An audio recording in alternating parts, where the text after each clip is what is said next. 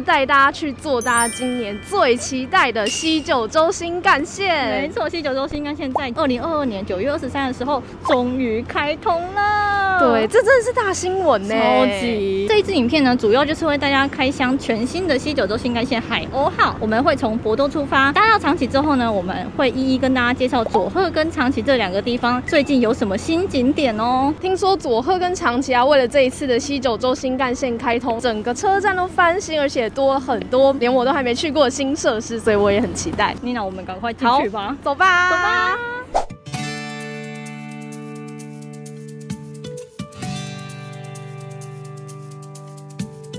我们现在搭的这一辆叫做 Lily c o m o 那如果你是要从博多搭到长崎的话呢，会先需要从博多坐特急电车到五熊温泉站，也就是我们现在坐的这一段。到五熊温泉站之后，再从对面的月台转车到长崎。从五熊温泉到长崎这一段，就是我们等一下要带大家搭的新的 c o m o 新干线。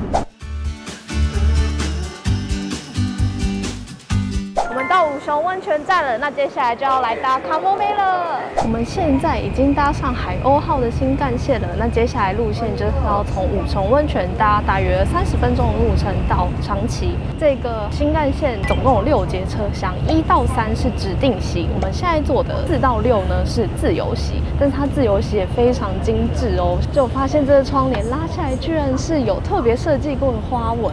地板这边呢有不同的和风的纹路，座椅的。颜色我自己也非常的喜欢。我之前常搭的新干线其实都是很单调的深蓝色的座椅，但是这个黄色就让人觉得特别有元气。而且我自己还有一个喜欢的点是这边做的很有波浪形的感觉，这个感觉呢让人觉得哎有很符合海鸥号的这个主题。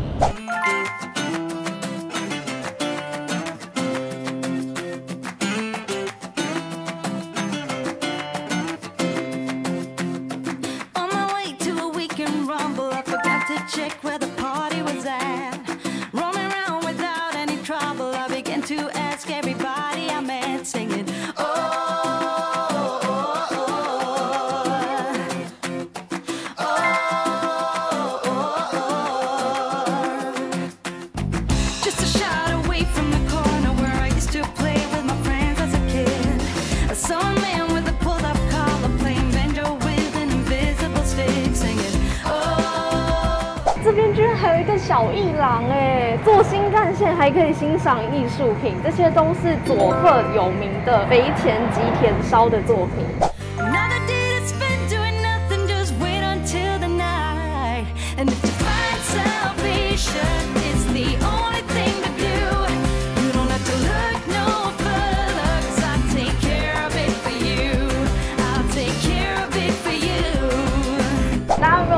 每一节车厢都长不一样？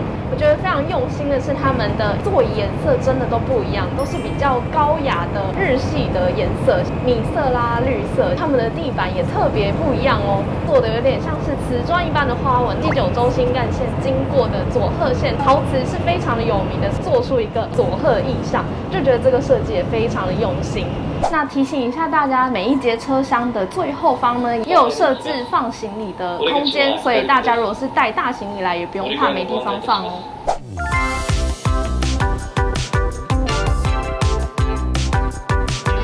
大家，我们到长崎车站了，看看我们背后这台海鸥号，我觉得真的长得有点像海鸥，而且我特别喜欢它的红白的配色，对，它的两边的那个红色的灯超可爱的，对，它在亮很帅。对，车身都写有很多 k a m o m e 它就是日文的海鸥的意思。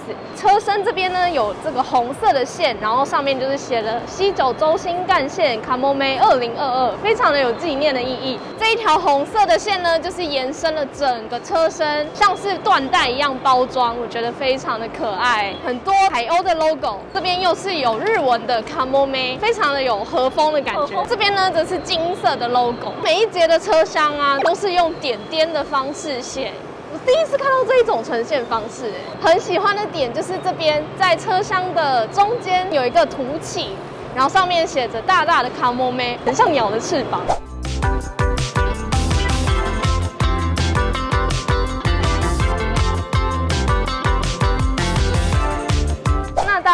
站的时候不要急着出来，在长崎站票口这边呢，有一个可以盖纪念章的区域。那现在有期间限定的纪念明信片，那它是数量限定，所以最近有要来日本人赶快来拿这一张的意思是我去看海鸥号了哦，这一个是我去搭海鸥号了，每个颜色都超可爱，我全部都想要收集。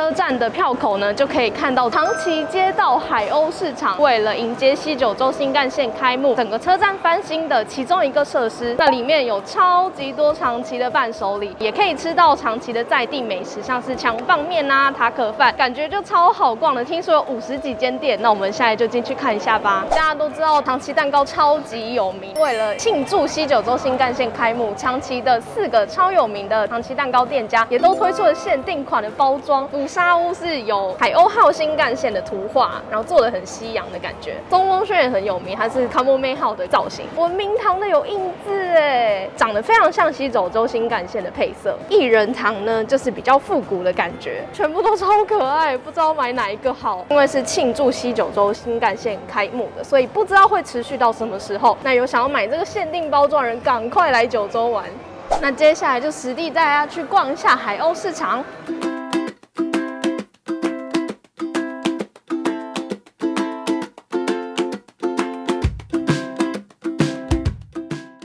是长崎的舞蹈列岛很有名的乌龙面，我去年有来舞蹈列岛，他们乌龙面真的很好吃哎。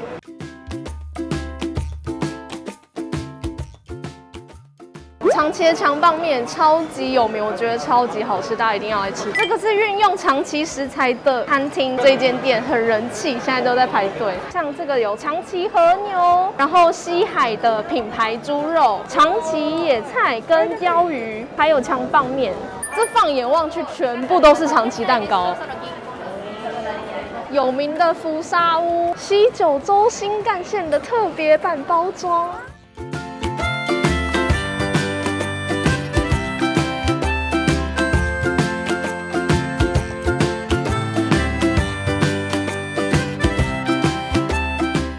长崎的波佐见烧超级有名。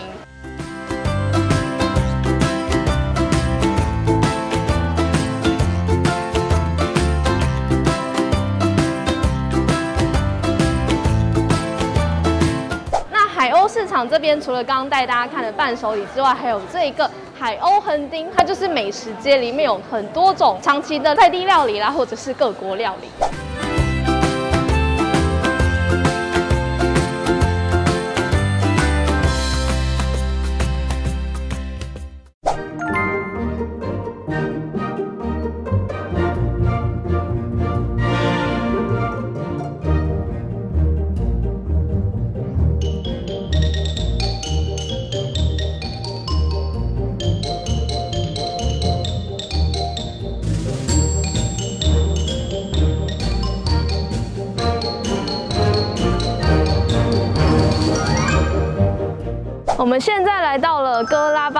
最主要的建筑物，就是哥拉巴的住宅。那这一个哥拉巴园呢，它其实是有非常多建筑的集合。大家都知道，长崎是日本锁国政策之后开放的其中一个港湾。那这个港湾就聚集了非常多来经商的外国人。那哥拉巴园呢，就有很多来经商的外国人的住宅都聚集在这一区。哥拉巴的住宅呢，就是最主要一栋，也被列为是世界遗产。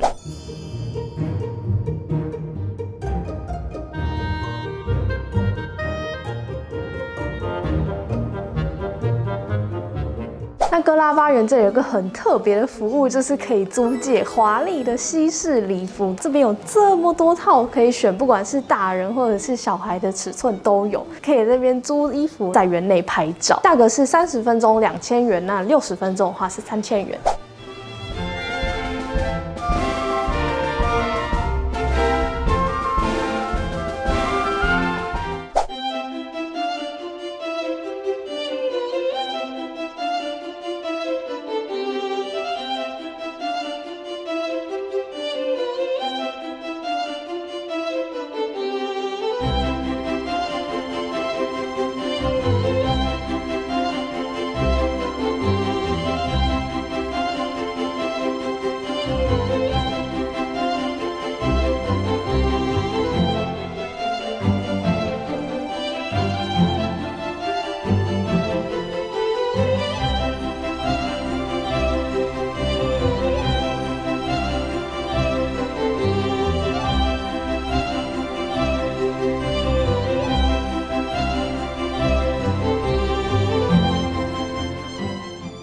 刚才其实绕了半个哥拉巴园，去到非常多不同的住宅，我觉得每一栋都超级美的。我跟 Misako 直接在选哪一栋最喜欢。那因为这边的建筑物每一个都非常的精致又美丽，然后加上海景也很美，所以真的要认真逛起来的话，一定要花上半天，慢慢拍照，慢慢逛。而且还有超美的吃茶店，我真的好想进去哦。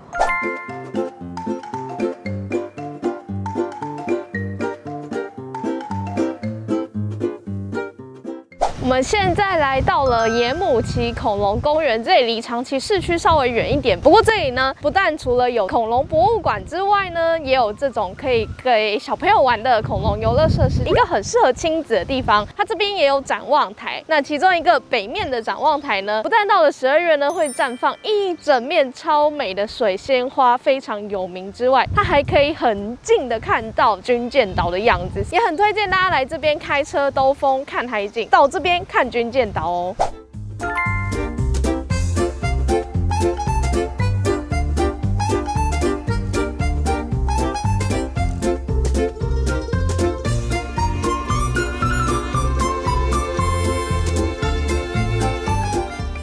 我现在来到了长崎恐龙博物馆。最近长崎已经开幕了一间恐龙博物馆，它的特色就是除了它有展示非常多像我背后这一整群的恐龙模型以外，还有超逼真会动的机器恐龙在上面等着你。这一间长崎的恐龙博物馆呢，它还是日本第一座可以看到超美的海湾景色的恐龙博物馆。所以大家如果来长崎的话，记得看一下他们的恐龙博物馆哦。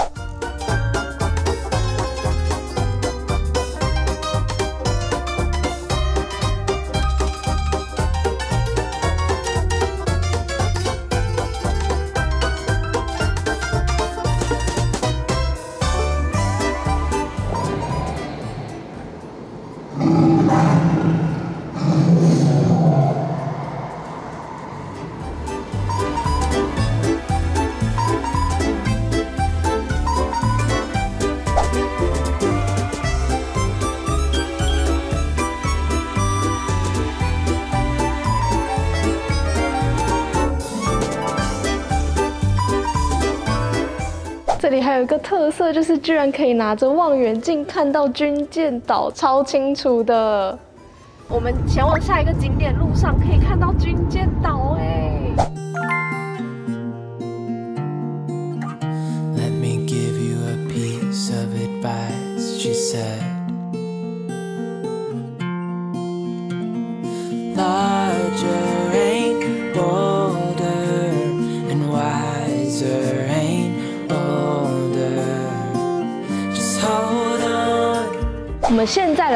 到佐山看夜景。那大家知道长崎是被选为日本三大夜景的圣地之一吗？连续好几年都有被入选，而且还被选为去年的世界新三大夜景之一，跟香港还有摩纳哥并列。所以来到这边可以看夜景，就觉得超级值得的。那我们之前其实有去拍过函馆的夜景，函馆也有被选为日本三大夜景圣地之一。那到佐山夜景这边还有一个特色，就是有时候会有大型的游轮停靠，就可以看到闪闪闪发亮的船，配上海湾的景色。那远景就是后方的山，光用想象就超级美的。可惜我们今天没有看到。不过我觉得今天看到这个景色，我已经很满足了。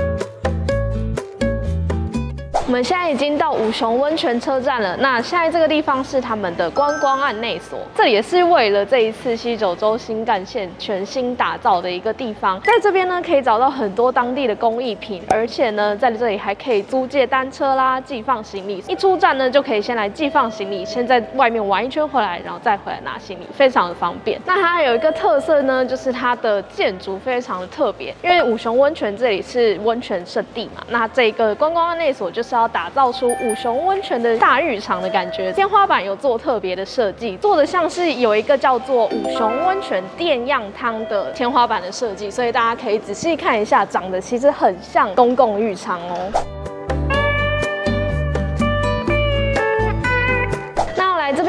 行李的话，它有分成两种 size。如果是像这一种手提的行李袋的话呢，是四百元。那如果是行李箱的话，就是八百元。时间是早上的九点到下午的五点。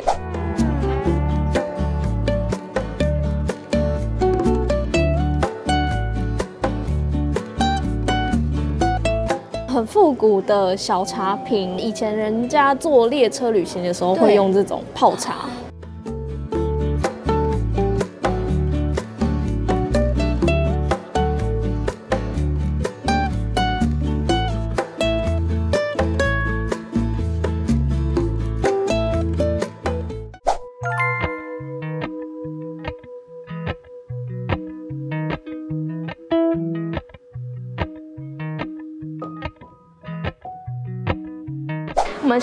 来到这个五雄旅书店呢，也是在二零二二年九月二十三号跟西九州新干线一起开幕的新景点，结合了书店、咖啡厅，还有选物区，大家可以在这边等车的时候看看书、喝喝咖啡，或者是买小礼物都可以哦。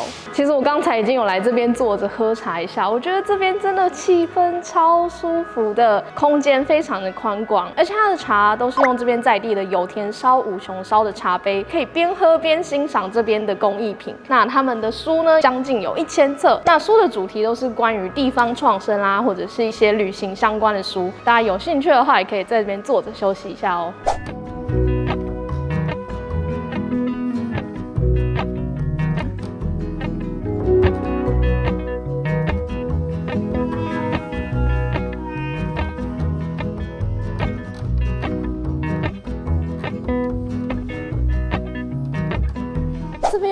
很多佐贺的伴手礼，我之前来佐贺的时候有吃到一个很赞的，就是这个小城羊羹。这种小城羊羹它很特别的是，外面是那种包了一层砂糖，所以吃起来脆脆硬硬，里面是软的又甜。我那时候买三种口味，就是红豆沙抹茶，另外一个是白豆沙。这个我看了好想买，他给他直接给你一整碗红豆馅。我们在长崎有看到的西九州新干线特别包装的长崎蛋糕，佐贺的海苔非常的有。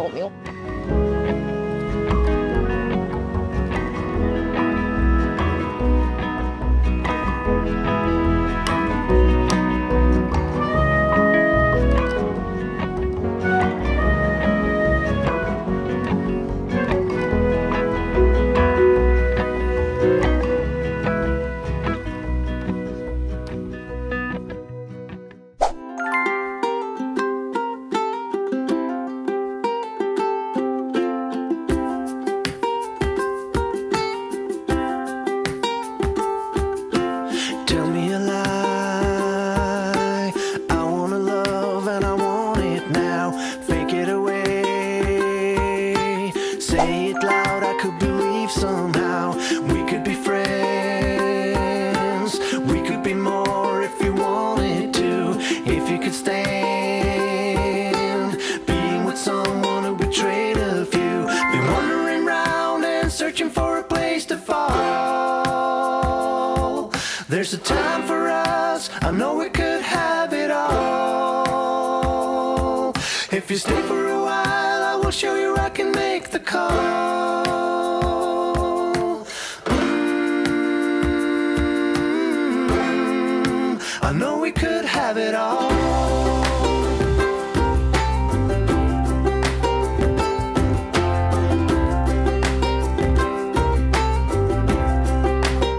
现在来到了五雄温泉，我现在在的地方呢是五雄温泉的新馆二楼。那从这边呢就可以看到五雄温泉最有名的楼门是以龙宫城的形象来设计的，所以大家可能会觉得它看起来很华丽，长得很像龙宫城。这个楼门的设计师呢就是跟东京车站同一个设计师成野金吾设计的。这一个楼门它是在一九一五年建成，东京车站呢则是在一九一四年，所以成野金吾就在这边藏了一个小小的巧思。可以在五雄温泉二楼的天花板中找到剩下的四只生肖。东京车站的天花板，大家可能想说，哎，十二生肖怎么只有八只？其实剩下四只就是在这边。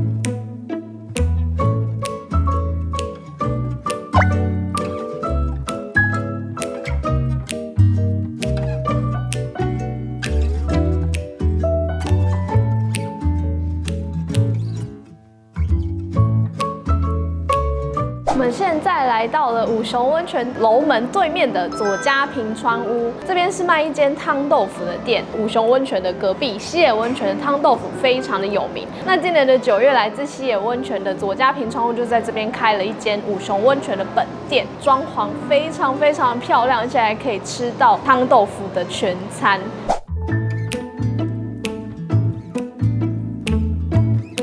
えーとまあ、うちの場合はあの温泉移動福膳といってコース料理になってまして、まあ、今回いっぺんに出しているんですけれども一番最初にこちらのあの豆乳もしくは豆乳の入った甘酒、えー、とこういうお豆腐前菜これを召し上がっていただいた後にこちらのメインのですね温泉湯豆腐を召し上がっていただきます。温泉の成分でお豆腐が溶けてどんどんトロトロになっていくんですよね。でこれのお豆腐を食べた後はこちらのですねお野菜とかお肉とかを入れてしゃぶしゃぶ風にして召し上がっていただく形になります。で最後の締めにですねこのご飯を入れて、えー、雑炊を作ると。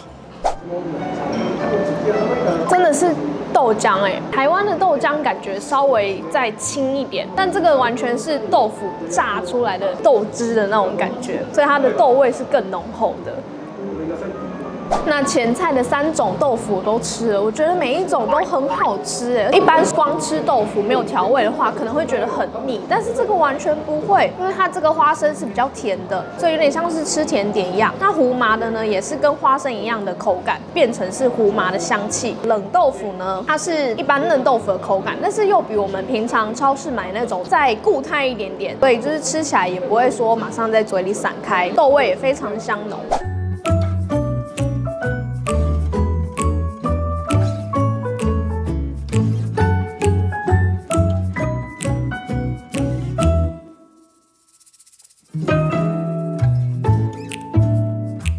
的温泉汤豆腐御膳已经吃到一个段落了，现在肚子超饱的，因为它的料真的很丰富，而且吃法很多。从一开始的豆腐开胃菜，然后到后面单吃豆腐，品尝了豆腐的各种吃法之后呢，最后再把它做成涮涮锅，加蔬菜啦，还有猪肉进去，真的是吃不腻耶。因为它的调味料总共有六种，像是橄榄油啦、柚子胡椒啊，或者是胡麻酱，但每一种味道呢都还蛮搭的。尤其我自己最喜欢的是胡麻酱，因为我觉得豆腐配上胡麻的味道很搭，把那个胡麻酱倒进去汤里面拌一拌，其实也会让汤更有味道。那单喝的话，就是有点在像喝豆浆一样，整个就感觉充满了营养在里面。吃完这个主餐之后呢，它还会上甜点哦。这个套餐的甜点呢是豆乳芝麻善哉，那善哉就是一种日式传统甜点，很好奇它会把它改造成什么样。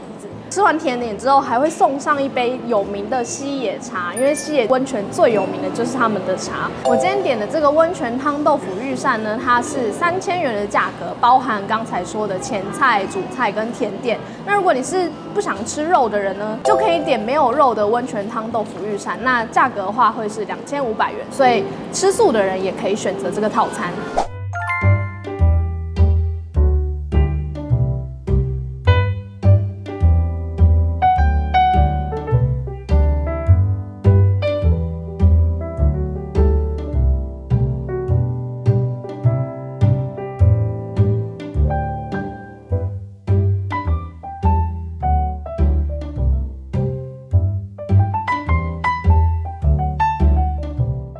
我们现在来到了五雄市立图书馆，那这里其实是被称为日本最美的图书馆之一。大家看到我背后的这整面的书墙，就是最经典的角度。这个五雄市立图书馆它其实蛮特别的，是它不是一般的图书馆，它是跟鸟屋书店结合的图书馆，所以现在是由鸟屋书店在管理。那你来这边的时候呢，就可以买书啊，或者是借书，也可以在这边边喝咖啡边看书。那这里虽然很美，但因为是图书馆，所以是有很多地地方都没有办法拍照的。在这边呢，只有两个角度是开放游客拍照的，一个就是我现在所站的位置，可以拍到这个角度的画面。那另外一个可以拍照的地方就是入口处，就只有这两个地方。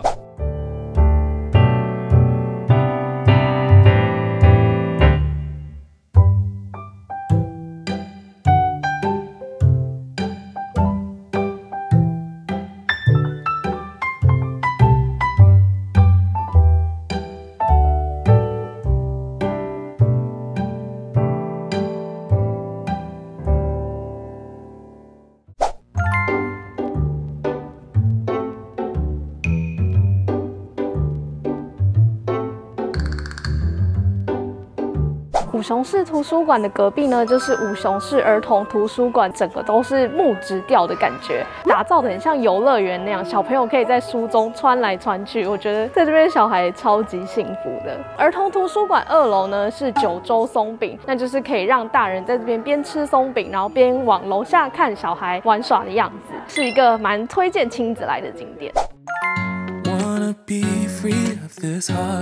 大家，我跟妮娜又回来了五雄温泉车站这边了。这两天我们搭了九州全新开通的西九州新干线海鸥号。到长崎跟佐贺玩了两天，去了非常多全新的景点。我比较印象深刻的就是他们的海鸥市场，那那间餐厅都是长崎当地很有名的餐厅，对，每一间我觉得都很好吃，因为我们两个有实际去吃。对，而且它的食材都可以吃到是长崎现产的，像是和牛啊、猪肉或者是海鲜，还有强泡面，还有他们伴手礼也很好买，都是有名的店，像是什么必买的福沙屋、长崎蛋糕啦，或者是文明堂的也都有。那另外一个我比较印象深刻的是哥拉巴园，哦，它是一个。建筑群，你真的是半天也逛不完的那一种。当地人也非常推他们的夜景，嗯，可是有得过日本新三大夜景的长崎市呢。像佐贺呢，也是因为西九州新干线开通，有了很多新景点，像是站内的古熊旅书店啊，还有观光案内所，而且还有咖啡厅，你就可以在等海鸥号来的时候，在这边坐着休息。我们今天中午去吃的左家平川屋，那不但食物非常的精致，建筑也很漂亮。对，五熊温泉这里每一间建筑都好看哦，像是。必去的五雄市图书馆也是，